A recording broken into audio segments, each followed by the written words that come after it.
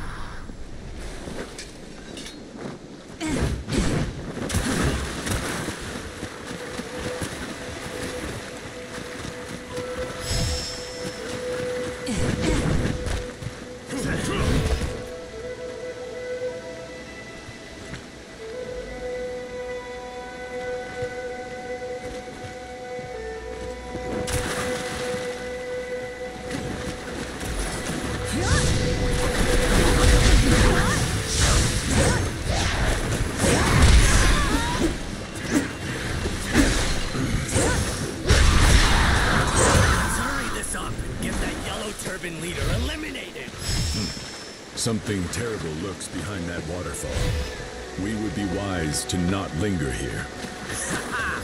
Imagine how gloriously drunk we could get if that was all alcohol. You really should swipe that out from your brain for a moment, Yida.